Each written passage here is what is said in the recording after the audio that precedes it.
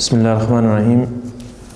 الحمد لله رب العالمين والصلاة والسلام على سيدنا محمد وعلى آله وأصحابه أجمعين.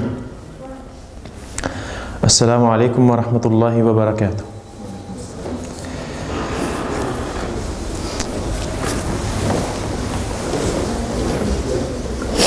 Vi har inshallah endnu en gang mulighed for at samles i håb om at få Allah subhanahu wa ta'alas tilfredshed, komme tættere på Allah subhanahu wa ta'ala. Øhm, som I har set på titlen, så kommer dagen i dag til at handle omkring en meget, meget vigtig person. En person i historien, som vi alle kan lære fra.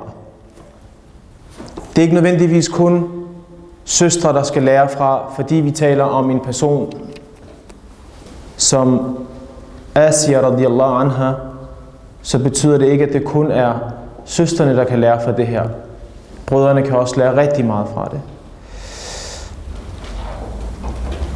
Rasulullah som har nævnt fire kvinder, som har en høj rang hos Allah subhanahu wa ta'ala. De fire kvinder, som Allah subhanahu wa ta'ala, som Rasulullah som har nævnt, er Maryam alaihi salam, Asia radiyallahu anha, Khadija radiyallahu anha og Fatima radiyallahu anha.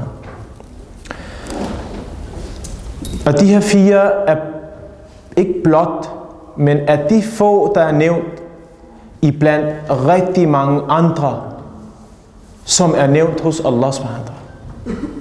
Fordi vi får at vide, at der er de her fire, fordi vi får at vide, at der er nogle sahaba, fordi vi får at vide omkring nogle ulama, fordi vi får nævnt nogen i historien, så betyder det ikke, at der ikke er andre. Og der er mange, som vi har lært at kende gennem tilfældighederne. Men de var stjerner, ligesom de nævnte stjerner her. Og selvfølgelig er der en rang i forhold til profetskab. Selvfølgelig er der rang i forhold til nogen, som er tættere på Allah end andre. Men uanset hvad, kan man opnå en status, og ikke nødvendigvis være en, som er kendt. Dengang folk de var i krig, og nogle kendte sahaba dengang, kendte fordi Rasulullah sallallahu alaihi wasallam havde nævnt den, og efter hans død, så var de her sahaba i krig, og de døde. Og folk, og Umar ibn Khattab anhu, han var så amir på det tidspunkt. Folk kom og sagde til Umar radiyallahu anhu, de sagde, O Amir al-Mu'minin, den og den sahabi han, er, han døde, og den og den sahabi han døde, og den og den sahabi han døde. Og han nævnte alle de kendte, og Umar ibn Khattab han lyttede og lyttede og lyttede. Og på et tidspunkt så siger den her person, plus nogle andre, som hvis navne vi ikke kender, med andre ord ikke betydelige. Og da Umar ibn Khattab han hørte det, så begyndte han at græde. Han sagde, blot fordi vi ikke kender deres navn, betyder det ikke, at de er ubetydelige. Og blot fordi vi ikke kender deres navn, betyder det ikke, at Allah subhanahu ikke kender deres navn. Så fordi vi nævner nogle blandt få, eller få blandt mange hedder det, så er det fordi vi skal have nogle eksempler, vi kan tage udgangspunkt i.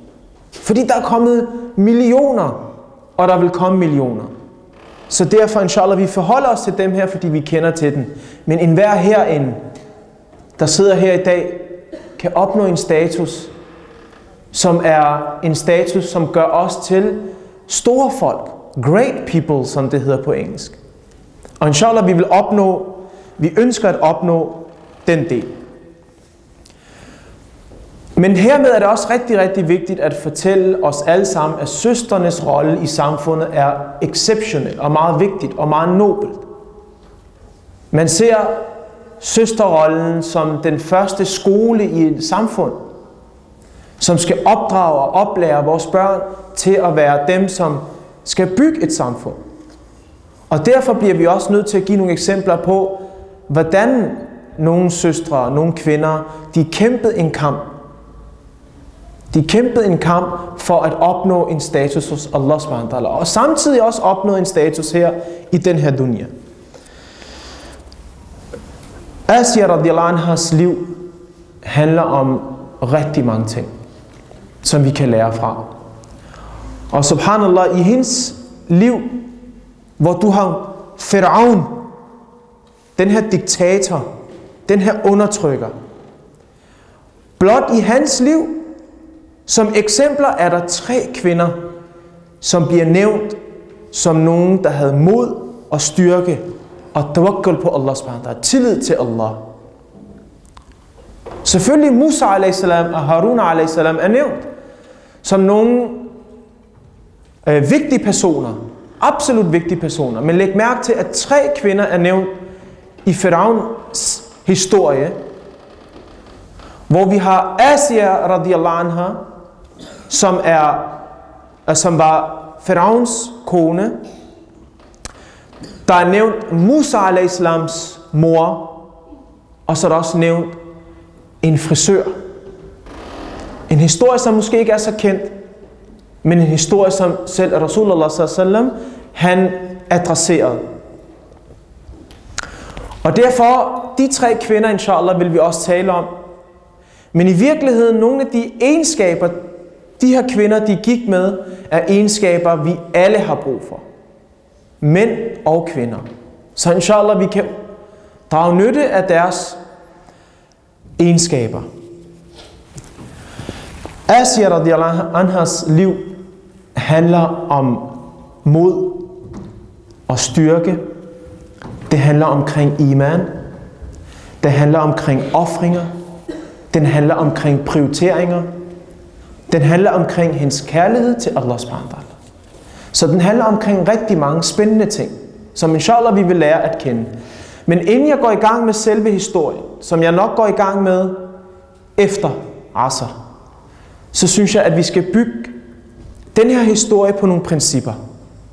Og inshallah, jeg vil bruge de næste 10 minutter på at snakke lidt omkring de her principper, som er rigtig, rigtig vigtige for os. Som muslim må vi aldrig nogensinde acceptere elendighed. Vi må som muslimer ikke acceptere undertrykkelse. Vi må som muslimer ikke acceptere ting, som går imod Allah subhanahu retningslinje, den sunnah, som Rasulullah s.a.v. er kommet med. Det, der er godt for menneskeheden. Er der noget, der går imod det, så skal der gøres noget ved det.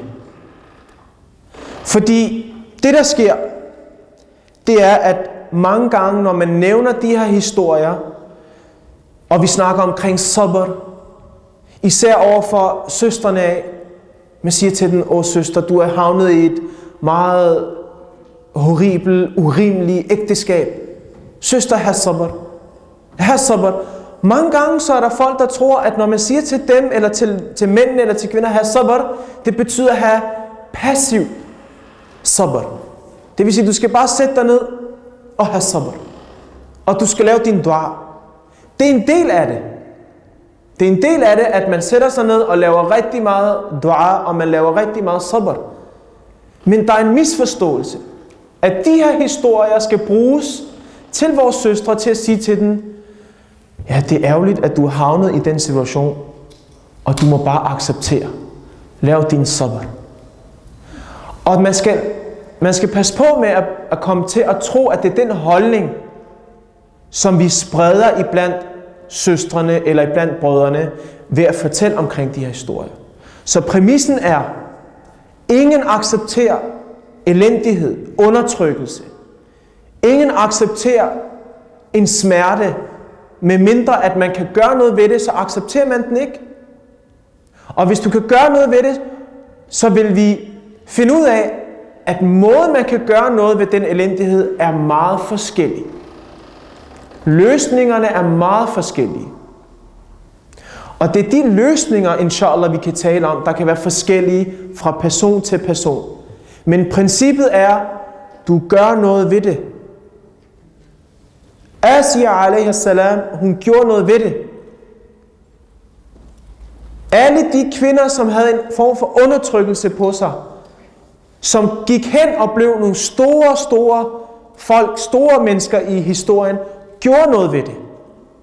De mænd, der var ude i undertrykkelse og smerter, som blev store folk, gjorde noget ved det. Og inshallah, vi som muslimer skal gøre noget ved det. Vi ønsker ikke elendighed, vi ønsker ikke smerter, vi ønsker ikke undertrykkelse. Vi, vi, vi går ikke efter det. Der er ikke en eller anden form for ydmyghed og zuhud i at sige, åh oh Allah, jeg har ikke noget smerte, og det er længe siden, jeg har haft noget elendighed. Jeg håber, jeg får det, så jeg kan praktisere zuhud, så jeg kan praktisere ydmyghed og sabr og shukr. Nej, vi kæmper i vores liv for at komme af med de her ting. Og når vi kommer af med den, så siger vi shukr. Men det, der er det rigtig vigtige i det her, brødre og søster, det er, fra at du havner i en situation, hvor du har elendighed, undertrykkelse, smerte, bekymringer, angst, alle mulige ting, som vi gør noget ved. Fra den situation til at du når et resultat, så er der noget, der hedder en proces. Og det er den vigtigste del i hele regnstykket. Det er den her proces. Hvordan udnytter du som muslim den her proces? Bruger du den her proces til at komme tættere på Allah subhanahu wa eller bruger du den her proces til at sætte dig ned og føle dig elendig, undertrykt, alene? Med det resultat, at du giver op. Processen. Fordi at havne i den her situation, når vi ikke beder om det, kan komme, fordi det er bestemt. Vi, for Asya alaihi salam har ikke i sin dua sagt, åh oh Allah, lad mig være kone til verdens største, historiens største undertrykker, så jeg kan få den højeste status hos dig. Men hun blev placeret i den position, i den situation, og hun valgte processen. Hun valgte noget positivt ud af processen og nåede til det resultat, som hun nåede til. Og det er den proces, vi skal have fokus på. Fordi den proces kan enten få os til at gå imod Jahannam, eller det kan få os til at gå imod Jannah. Og i virkeligheden er det os, der bestemmer, hvad vi vil gøre ud af den proces. Og mange gange så har vi også set, at vi nævner de her historier, og alle sammen sidder med udgangspunkt i deres historie og deres liv, og tænker, nej, nej, nej, det kan jeg ikke bruge til noget. Det kan jeg ikke acceptere. Det er ikke sådan, jeg ser min løsning. Vi bliver også nødt til at kigge på, fordi der er rigtig mange mænd og kvinder, der tænker, min løsning på det her, det er ikke sabr. Det er ikke sukker. Det er, at jeg forlader det her. Jeg går væk. Og ja, en del af løsninger typisk i et forhold, er, at man går væk. Uden tvivl. Allah har valgt som en løsning, at par kan gå fra hinanden, og det er nogle gange sundt, at folk går fra hinanden. Men vi lever i en tid, og vi lever i en periode og et sted, hvor før du bruger noget som helst som sabr og shuk, så kommer du til den konklusion, jeg kan ikke med ham, han kan ikke med mig. Der er ikke noget der. Khalas, jeg går. Så den her historie med Asia og hendes shukr og sabr, den kan du bruge til en anden en. Jeg har en anden løsning på det. Okay. Fint. Hvis man har besluttet sig for, at man vil ikke kæmpe for den her, det her forhold. Man vil ikke kæmpe. Man vil ikke gøre noget ved det. Man vil bare tage den nogle gange nemme løsning. Så vid en ting. At den her verden består af over 5 milliarder mennesker. Og den her løsning på sabr og shukr, som måske kan resultere i noget khair i dunya i akhira, er forskellig fra sted til sted. Der sidder kvinder i den her verden, der rent faktisk ikke har noget valg i forhold til at forlade et ægteskab. De har ikke noget valg. Det eneste valg, de har, det er døden. Ligesom Asia a.s. Hun havde ikke noget valg. Hun kunne ikke sige til Faraon, Faraon, hvad er du gang i? Du er langt ude. Det her er undertrykkelse. Vi ved godt, hvad der skete, da hun sagde det. Men hun kunne ikke sige, giv mig talak nu. Og så, okay, okay, undskyld. Talak, talak, talak. Eller gå. Og vi har mange situationer i dag, hvor en kvinde er fanget. Og, og hun kan ikke tage sit eget liv. Hun kan ikke tage sit eget liv. Det er haram at skulle tage sit eget liv. Selvfølgelig er der en løsning. Selvfølgelig er der en løsning på den værste af den værste. Og igen tilbage til tanken om, jeg tror ikke, at der er nogen, der er gift med nogen, der er værre end Firaun. Der er ikke nogen, der er gift med nogen, der er værre end Firaun. Vi tager lige et minut mere, og så slutter vi på det her. Jeg tror ikke på, at der er nogen, der er gift med nogen, der er værre end Firaun. Så Firaun er simpelthen vores standard til værste, worst case scenario, som de kalder det. Den værste historie, den værste sammenligning, vi kan tage. Og alt under er mildt. Alt under den her historie er noget, vi burde kunne takle. Så uanset hvordan vi vender og drejer det, så bliver vi nødt til at vide, at de her løsninger, vi kommer med, er universelle løsninger. Nogen kan gå ind og bruge den meget mere konkret, og andre kan ikke bruge den konkret. Og en sidste ting, jeg vil sige, det er, mange gange er vores søstres situation således, at i enhver kvindes liv kommer der en periode, hvor hun er afhængig. Og lad mig lige forklare, hvad jeg mener med den her afhængighed. Hun kan være noget så stærk, hun kan være noget så klog, hun kan være noget så uddannet, hun kan være noget så, mashallah, i forhold til karriere. Men hvis hun vælger at stifte familie, og i den familieproces, hun vælger at få et barn, allerede der, der er der et halvt til et, et år før fødsel, og et halvt til et år efter fødsel, hvor hun er afhængig af, at der er folk omkring hende, som støtter hende og hjælper hende. Og den bliver vi også nødt til at respektere. Og der kan vi kun håbe, at mændene er retfærdige overfor den kvinde, som i den periode har brug for så meget støtte, og så meget respekt, og så meget kærlighed.